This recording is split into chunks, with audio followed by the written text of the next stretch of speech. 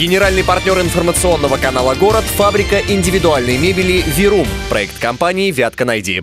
Готовое интерьерное решение без наценок – философия компании «Верум». Наши технические возможности позволяют воплощать ваши идеи. Лепсия 12, телефон 69 без выходных. На ремонт дорог в Кирове возьмут кредит в 50 миллионов. Еще 350 тысяч выделят на ремонт и строительство наплавных тротуаров. Подробности далее. Эфир продолжает рубрика «Короткой строкой».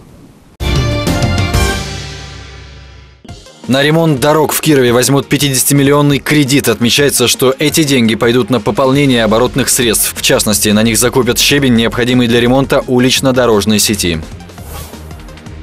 Кирове на ремонт и строительство наплавных тротуаров направят 350 тысяч рублей. В городе разработаны мероприятия по защите населения в период весеннего паводка. Кроме того, на случай серьезного подъема уровня воды в городе приготовлены пункты временного размещения. Эвакуируемых разместят в 11 школах и в гостинице. В общей сложности пункты рассчитаны на принятие 550 человек.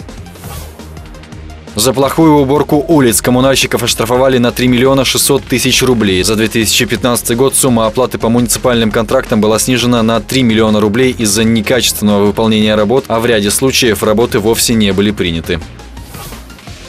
Жители области получат жилищные сертификаты на общую сумму 31 миллион рублей. Постановление об этом подписал губернатор Никита Белых. Новые квартиры получат 9 ликвидаторов радиационных аварий и столько же вынужденных переселенцев.